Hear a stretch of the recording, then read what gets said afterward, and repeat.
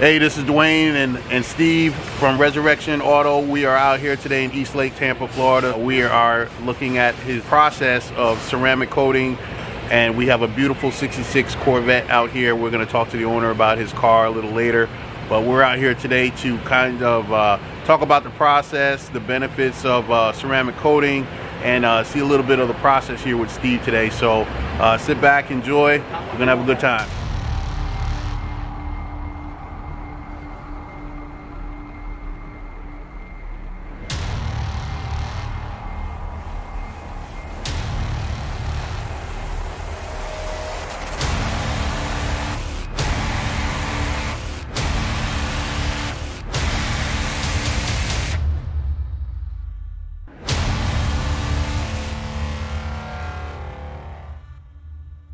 Today we want to talk about ceramic coating, uh, the benefits of it.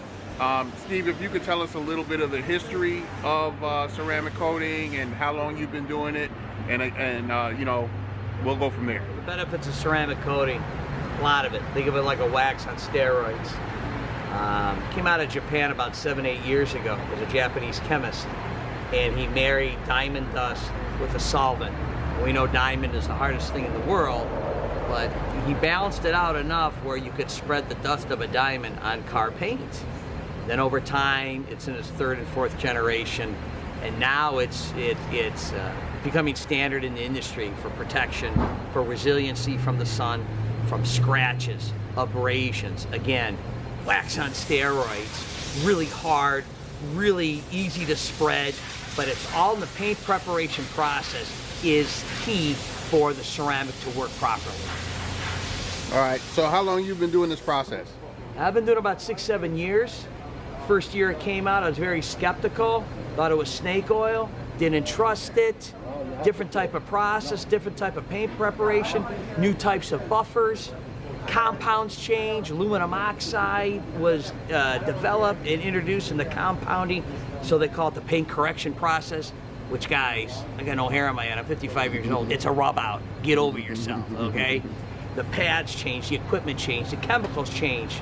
So the paint preparation means everything when applying the ceramic itself. So Steve, if I got a classic car, what are the benefits for a ceramic coating for a classic? Zero maintenance. We're all getting older in age.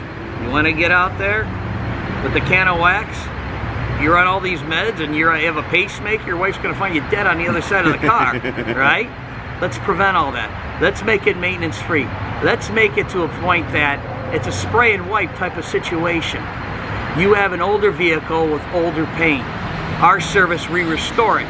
So ceramic gives you a restoration type of approach that you couldn't get with the car wax. Car wax, three to six months, you keep reapplying, you keep getting frustrated. And in between that time, scratches, scuffs, things happen to the car, and you get really frustrated with that. This is what uh, ceramic prevents. Cool. So uh, how long does the, the, the, ceramic coat last? Or do you, do you have to reapply it after a certain amount of time? Or um, Out there usually it's a five to seven year warranty on something like that. Mm -hmm. Some guys go that far out of 10. I think that's just nuts. Who knows what happens to the car in 120 months, man? You don't know, right? right. 10 years. So, right. But it's but it's that type of resiliency where when the ceramic goes on the vehicle, you just have that assurance for 60 to 72 months that any scratch or abrasion happens. It won't happen to the vehicle. Right. It's durable paint protection. Nice. So speaking of paint protection, so if you um, do the ceramic coat, um, are there benefits to doing it? Like, um, can you tell us like if somebody uh, maybe saved money from buying a paint job by, uh, you know, doing the ceramic coating instead? I think you mentioned something about that. And that's the key issue. When you have something that's 40, 50, 60 years old, excuse me, and and you get a quote for ten to twelve thousand dollars to paint a car. Okay, we don't care how good the car looks. The car's got to run. You're taking all that money and all that investment and putting it everything mechanical. You got to have some money for the presentation, the appearance of the vehicle. Right, right. So our service comes along and say, let's restore the paint without painting it. Take it to a paint shop. They're taking old mirrors off cars, tail lights, things of that nature right. that are brittle and old it breaks, you know that headlight could be more, more than money. what the ceramic process more is money. in itself. Yeah. So I try to hit that sweet spot with our service to put ceramic on a vintage vehicle you can enjoy. Right, awesome. So Steve, I know you did some of the work already. Why don't you explain to us what you did, what's not done, and uh, kind of, you know, show us a little something about the detail. Well, the speed up time, I already embarked upon already starting the process. Uh, of course, wash, of course, a clay bar, a clay mitt, full machine rub out, ceramic base coat primer polish, and then the ceramic itself. Later on, I'll tell you why that ceramic primer polish is so important, okay? But the vehicle itself is pretty much done. This whole side has been done with the ceramic itself. The other side has been done. Basically, the whole car's been done except for the hood and part of the roof. How about that? Sounds Okay? good. Now we know we're in the shadows right now. That's fine because you can't be doing something out in the sun because it takes about a minimum of an hour to cure, but ideally five to six hours overnight to cure the ceramic itself. Gotcha. And that's what makes the difference. The curing time is very important. so this side's been done already, all this. Right, the whole side's been complete. The roof, the rear, and the whole entire side. And I'm just saving half that roof and the rest of the hood uh, for more instruction and more information later for you guys. Cool. It's looking really good. I mean, we're out here in person. You guys can't see this, but man, this thing, you can see yourself in the, the reflection here. Uh, all right, Steve, so tell me a little something about the tools of the trade here. We have a Makita buffer, dual action buffer. Buffers changed about five, six years ago. Not only they spin and they rotate, but they vibrate at the same time. That vibration and rotation creates heat. But it's coupled with this. When you have a compound like this, it's got aluminum oxide. This aluminum oxide heats up with the friction, the pressure, and the rotation of this buffer. You have to prep the paint by removing all the oxidation and scratches out of the paint. This is the only way that the ceramic gets applied properly, paint preparation. Gotcha. So Steve, tell me, you know, my first introduction to uh, ceramic was, uh, I won't say the brand, but one of my favorite brands of car products put out a ceramic wax. Right. So, I mean, what's the difference between that and, and your process? And why would I use your process as opposed to spending like 20 bucks in uh, the auto parts store and, and, using some ceramic stuff? Know, go to the auto parts store, go to all the you know the big box stores. Read the back of the bottle. Sixteen dollars makes your problems go away. Really? Okay. You're not saying on the back of that bottle about the paint preparation, the rub out, the ceramic primer polish. It's how do I say this without offending anyone? But it's no good. Okay, it's fast, it's quick, it's cheap. Meaning fast, it, it, it, it ain't going to come out fast, cheap, and good. Doesn't exist in my world. Okay, mm-hmm. so those products are just weak, watered down type of products to keep it simple in this conversation. Gotcha. That's not going to perform for you, and you're going to be disappointed in two weeks to a month. It's going to stop beating water. You have to prepare the paint. They're not telling you on the back of the bottle. You got to know how to rub on a car. Gotcha. So you get what you pay for, right? Pretty much. Got That's what it is. Got you. You know what I mean? Appreciate That's that. what it is. So it, it, it's it's finding someone that you become skilled, you get trained in how to do it the right way because on the back of that bottle, they're not telling you five to seven years. I can tell you that, Jack. They're not. they're not. For the durability and the longevity of it, they're not. Yeah, understood. And it shows. It definitely shows. And you know, when you got a car like this, you got to spend the money and get it done right. You, you took the time to locate the car, you took the time to drive out and find the car, meet the owner, negotiate price, and then you're gonna put $17 bottle on it and walk away? Get away from will you please? you took the time and effort to buy a classic, treat it like a That's classic, right. give it the respect it has, because God knows you got your wife, your girlfriend screaming at you, how much we put money into this car? You see what I'm saying? Put Gotcha. the money in the car and make it last. That's right. That's all I ask. Yep. That's why we exist. Good answer. I try to be. So, uh, can you tell us like what product is there a certain product you use, or or is there anything in the process that you want to talk about, or is it kind of proprietary and you don't want to give your secrets away? That's okay. No, that's fine. In this type of business, getting the right product means everything, okay? Whether you're baking a cake, I don't care, repairing a car, whatever. This product right here is is a compound that I use. It's got aluminum oxide in it. So mm-hmm. I try to find a chemical that has aluminum oxide on it and water based. It means it's gonna have low dust. That's really important. So you don't want to have a shop look like a coal miner, you know, a- a coal mine, right? So this compound here, you put it on this rough compounding paint correction pad, they call it. A few drops like this, okay? This pad is rough in texture that rotates and creates friction and heat. This got the aluminum oxide that heats up. Then we apply this on the paint itself and we start moving the buffer back and forth. And that's how you start when you start paint correcting a vehicle.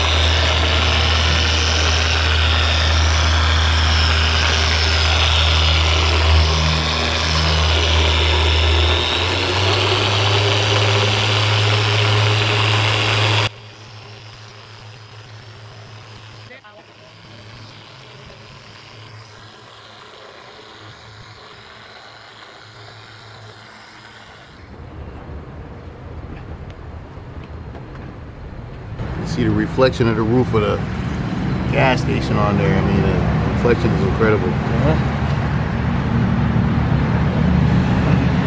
Good stuff.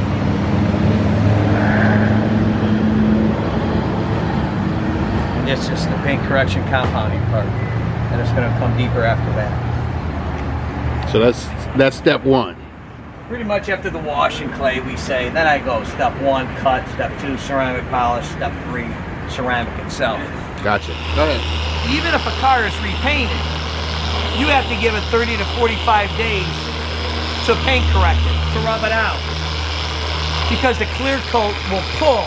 It's like saran wrap, it'll start pulling back. So after it gets done with the pulling back retraction process, you gotta rub it out to smooth everything out. It's like your bed sheets, right? Mm-hmm. Put the sheet on, pull it, tuck it, this and that. That's what the paint is doing. The paint is tucking and pulling as it's curing. But you still have to rub out the vehicle, paint correct it, even after a, a, a paint, a repaint, or a car that could be 50 years old that's never been done. You gotta paint correct it. Gotcha. So as I always say, you gotta have money and patience when you're in this plastic car game, right? And Steve is explaining that this is a patience thing. This process takes about 10 to 15 hours to do. So it's not like, you know, it's actually like a two-day process. It's not like you're gonna do this in, a, in an afternoon and be done. So, you know, you gotta have patience when you want this thing done right. Steve, so go ahead and uh, let us know about step two. Pretty important step. Ceramic primer polish. In this polish, it acts like a wax. Brings out the color, the shine of the vehicle. Very important. But when we do that, it allows the 100% ceramic, which I'll show you in a few minutes in the bottle this big. Once I put that ceramic on the car, this has become the adhesion process. So the ceramic in year in a year, year and a half, years later, it doesn't flake off the paint like a bad sunburn. So it creates an adhesion for the ceramic to grab out of the paint. So now the 100% ceramic will flex with the paint. So I'm from Cleveland. Cold, cold weather many years ago. It would flex with 20 uh, minus 20 degrees, or the heat here in Florida, 95 degrees. It flexes with the paint. The ceramic doesn't peel off the paint later on and fail you. That's a pretty important step in this process.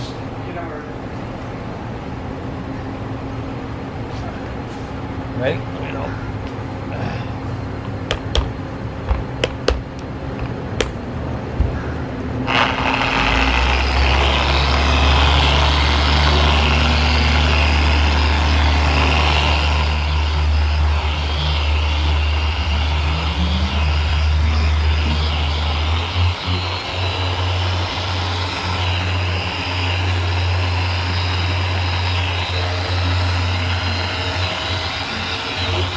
So here's. Here's the last step, the most important step, the ceramic itself. Sponge, observe. Drips, observe. None to it, right? Slowly. Introduce it. Overlap it. The more overlapping, the better. Okay? It'll haze up 10, 20 seconds or so. Okay? Hazing up now. It's curing quicker because we put that ceramic base coat primer polish on. Important step. It helps in the flashing, they call it, the hazing. that much quicker. Take your towel, I do a circular pattern, and remove.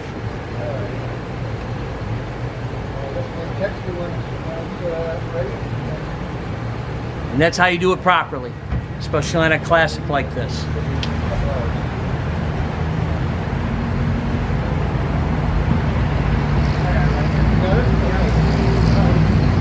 Bammo. Now you're starting to see that paint, that shine come out. So we're gonna talk to the proud owner of this beautiful 66 Vette. This is Tom. Tom, thanks for allowing us to do this today. Uh, really appreciate it. Um, love the car, and as Thank the sun you. is coming out, that color is starting to pop now. So Yes. definitely uh, excited to see how the, the whole process is coming together here. So tell me a little something about, um, first of all, your love for Corvettes, how you came across this car, maybe a little bit of the history of uh, the vehicle, if you, if you have Sure. that. Yeah, I've always been interested in Corvettes, uh, specifically the C2s, the 63 to 67. Uh, I just remember as a little kid sitting in the passenger seat with uh, my uncle had a 63. Nice. I couldn't see over the dashboard, and I always remembered that. I always had that feeling, so I always had a love for them and always wanted one. Um, I bought this car. It's a 66 coupe. I bought it in uh, May of last year, and uh, it was all original. Um, I bought it off a gentleman who worked at uh, Seymour uh, Air Force Base in North Carolina. Uh, and he bought it previously from a K-135 pilot who also worked at that Air Force Base. Nice. Um, and it's just something, uh, when I found the car and I saw the Laguna Blue, I love the color. Um, Now you said this color is a one-year only color. it's a one-year only color Laguna Blue. They only made it in '66. Um, so when I picked up the car, I just liked how it was original. Had the original motor, tranny, um, carburetor, everything was all original on it.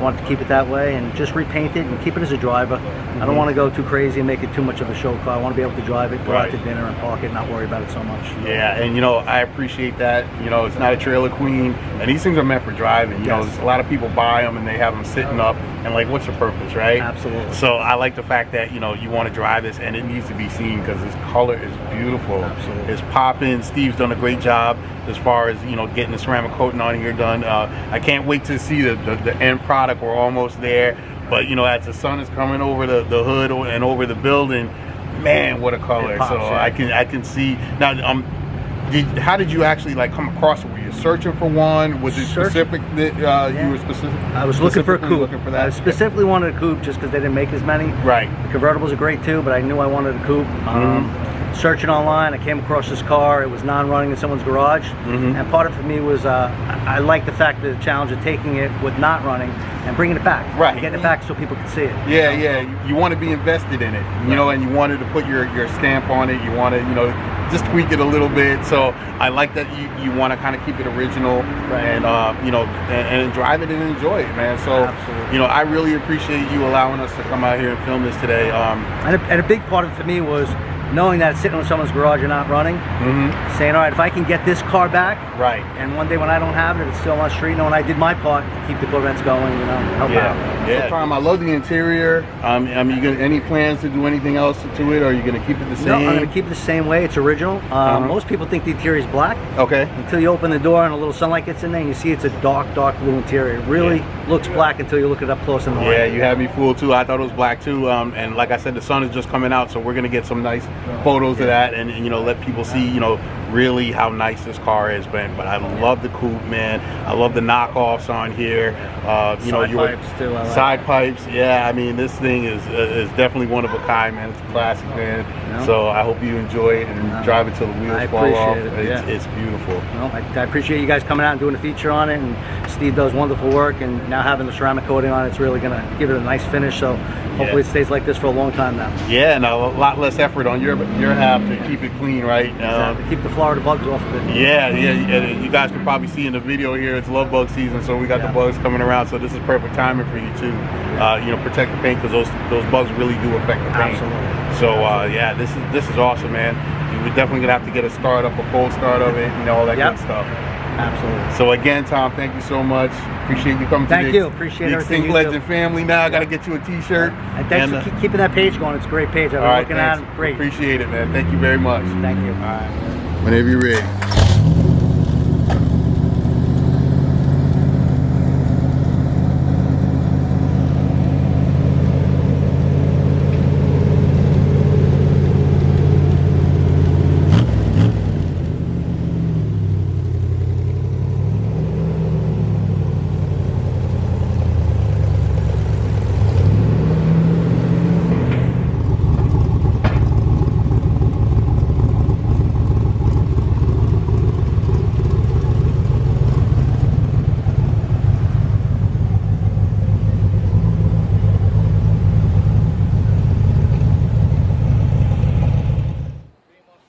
Friday. Beautiful.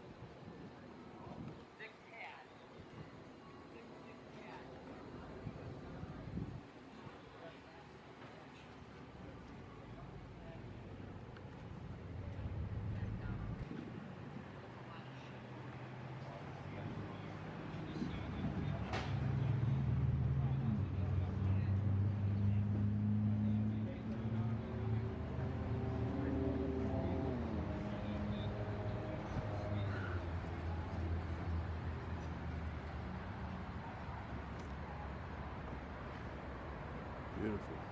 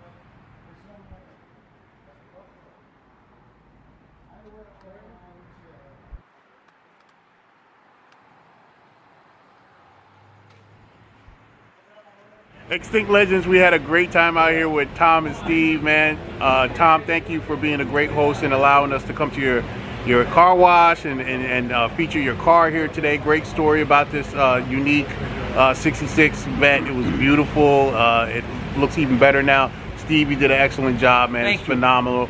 And I just want to thank both of them for allowing Extinct Legends to capture this today. So Thank you. thanks, guys. I appreciate you. Extinct Legends, that's a wrap. We out. Thank you. Keep up the great page. Hey, thanks. Follow Dwayne. There you go.